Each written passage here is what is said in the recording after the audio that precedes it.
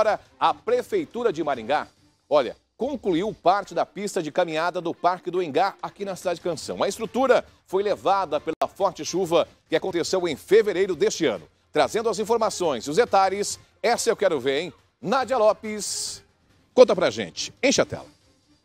A pista está quase pronta, mas sem a parte emborrachada. A prefeitura realizou a aplicação da massa asfáltica entre 3 e 4 centímetros abaixo da camada de borracha. Quem caminha pelo local já sente diferença. Ah, sente um pouco, né? Porque a pizza ela amortece principalmente para quem corre, né? Então assim, é bom, melhor do que as pedras que tinha aqui antes, mas a pista emborrachada é bem melhor.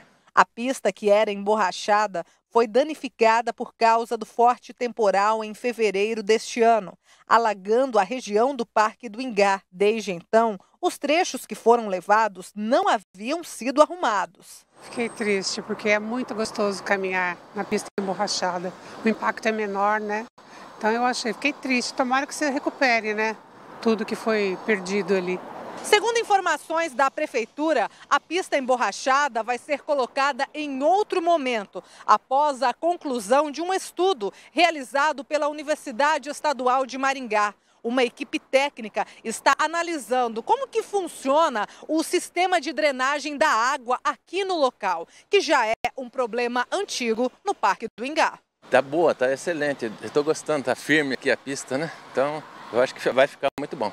Eu estou gostando bastante, tá dando para a gente caminhar, tem um pedaço que ainda a gente precisa sair da pista porque está em obras, mas dá para praticar atividade física, eu estou gostando bastante. Eu acho que é uma das melhores pistas que eu já caminhei, mas quando cheguei aqui, para minha surpresa, aqui ainda estava recapeando e o trabalho está sendo bem feito.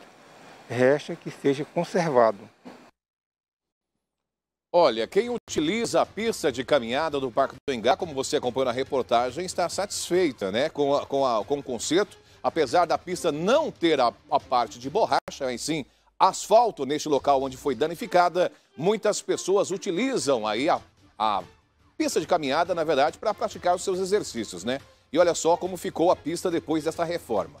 Claro que ainda falta a borracha que foi levada em fevereiro deste ano pela forte chuva que caiu aqui em Maringá. Volta para mim aqui, produção, por gentileza. E também, a gente sempre recebe aqui muitas reclamações, tá? Por parte da população que utiliza a pista de caminhada do Bosque 2 aqui em Maringá também, que está precisando de melhorias.